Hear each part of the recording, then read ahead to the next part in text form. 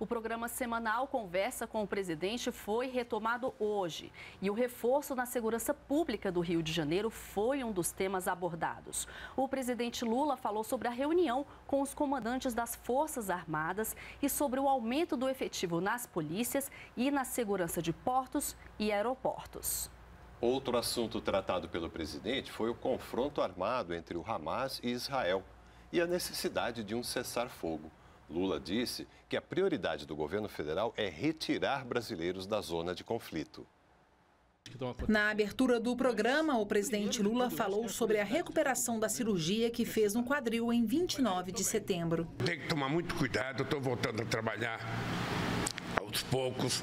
Ontem eu fui no Palácio um pouco, hoje eu vou outra vez no Palácio. Vou começar a participar de alguns eventos, mas na verdade eu não posso viajar. Uhum. Eu só posso viajar depois de uma avaliação que será feita entre seis e oito semanas. Portanto, eu ainda tenho quatro semanas aqui, sabe, em casa, no Alvorada e no Planalto, para depois então pensar em viajar. Mas do ponto de vista uh, físico, eu estou bem. Uhum. Sinto que a cirurgia foi um sucesso. Lula também comentou sobre o problema da violência no Rio de Janeiro, que só ontem teve 35 ônibus incendiados. O problema da violência no Rio de Janeiro termina sendo um problema do Brasil. O problema da enchente no Rio Grande do Sul, em Santa Catarina, no Paraná, termina sendo um problema do Brasil. O problema da queimada na Amazônia, no, sabe, da seca no Pará, no Acre, no Amapá, da seca em Roraima, ah, termina sendo também um problema do Brasil, porque o governo brasileiro tem que assumir assumir a responsabilidade de ajudar todo mundo. Eu já conversei com o governador, sabe, Castro, do Rio de Janeiro.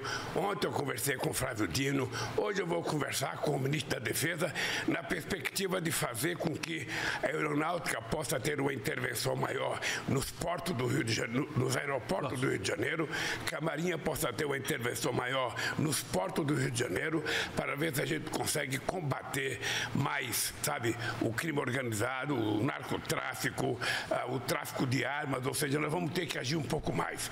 Ao mesmo tempo, o Flávio Dino conversou comigo, a Polícia Federal vai agir com mais força, a Polícia Rodoviária Federal vai agir mais nas estradas, ou seja, nós queremos compartilhar a solução dos problemas que os estados têm com o governo federal. Uhum. Nós não queremos lavar a mão e dizer o problema da violência do Rio, o problema da enchente do Rio Grande do Sul, o problema da seca da Amazônia. Não.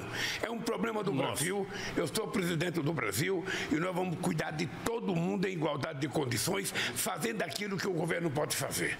Outro assunto do conversa com o presidente foi o conflito entre Israel e Palestina e a busca pela garantia da paz. Eu estou falando com todo mundo para que a gente consiga três coisas. Primeiro, garantir um corredor humanitário para que as pessoas possam receber água, possam receber comida, possam receber remédio, garantir que não falte energia elétrica nos hospitais para que as pessoas possam ser tratadas e garantir que não se mate mais criança. O presidente também falou da liberação de brasileiros que estão na faixa de Gaza. Eu estou conversando para todo mundo, inclusive porque eu quero liberar os brasileiros que estão na faixa de Gaza. Nós temos brasileiros que querem vir para cá, nós temos crianças lá, nós temos mulheres que estão sofrendo o tormento do, do, dos tiros, do tormento das bombas, do tormento de foguete, e eles estão muito próximos da faixa da da, da, de fronteira com o Egito. Eu já falei com o presidente do Egito, o meu ministro já falou com o ministro da Relações Exteriores, ou seja, o avião presidencial, o menor, está lá. já no Cairo à espera dessa gente. Oito aeronaves do governo federal federal já resgataram brasileiros da zona de conflito. O que nós fizemos de buscar nossa gente lá é para dizer o seguinte: ninguém larga a mão de ninguém nesse país. Ninguém. Qualquer brasileiro que tiver dentro do, da, da, área de guerra que precisar voltar para o Brasil, nós não mediremos esforço. Nós iremos buscar. Eu não quero saber de que partido as pessoas são. Eu não quero saber de que religião as pessoas são. Eu não quero saber para que time as pessoas torcem. Eu não quero saber para quem as pessoas votaram. Eu quero saber que são brasileiros e brasileiras. Lula também comentou sobre a seca na Amazônia e a importância do combate às queimadas na região. Então, nós precisamos do apoio dos prefeitos se os prefeitos não estiverem junto conosco, que a gente não estiver discutindo o incentivo para as prefeituras ajudar a gente, as coisas não dão certo. E essa seca ajuda a fomentar a queimada. Sim.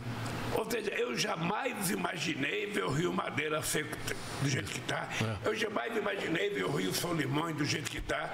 Eu jamais imaginei ver o Rio Tapajó do jeito que está. Mas eu também jamais imaginei ver o Rio Grande do Sul cheio d'água como está. Jamais imaginei ver furacão tufão em Santa Catarina, ou seja, é. então isso é uma demonstração de que a questão climática é mais séria, é preciso a gente levar mais a sério, ter mais responsabilidade, porque o planeta está se revoltando.